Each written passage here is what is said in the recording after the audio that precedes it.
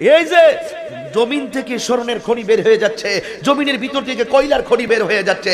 সব বের হয়ে যাচ্ছে।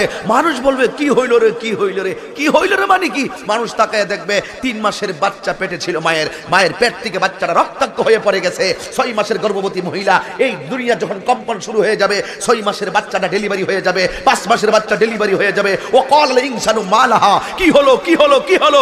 সবাই দেখবে, ওয়াতাকুনুল জিবালুকাল ইহনিল মানফুস সকল মানুষগুলো সকল পাহাড়গুলো আকাশের মধ্যে তুলার মতন উঠতে থাকবে।